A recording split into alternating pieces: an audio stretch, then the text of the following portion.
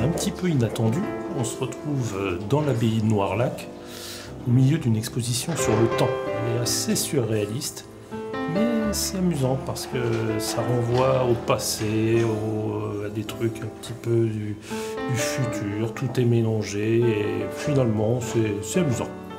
Dans l'expo, il y avait un petit train qu'on pouvait piloter.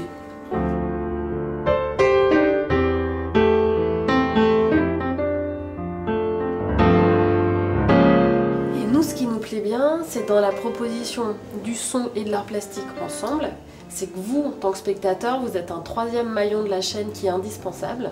Parce que justement, le fait d'avoir le son qui est quand même très proche de vous, qui vous isole un peu tout d'un coup du monde extérieur, d'avoir aussi tous ces objets qui, de dire, pour notre génération, puis les générations d'avant, en fait, sont évocateurs de situations, de souvenirs, de sensations liées à l'enfance, aux générations d'avant. Mais comment ils ont fait pour rentrer la voiture? Alors avec les enfants, ça fonctionne complètement différemment, plus sur une espèce de curiosité d'objets qu'ils n'ont jamais vus. On a quand même eu, déjà dans le cadre d'une exposition, un enfant qui demandait qu'est-ce que c'était que le truc noir qui tournait là-bas. Voilà. Et on peut s'attendre, un disque en l'occurrence, je l'ai dit, mais on peut s'attendre même à ce que bientôt euh, un CD en fait, euh, des enfants disent mais à quoi ça sert ce truc? Qu'est-ce que c'est? C'est vrai. C'est le temps.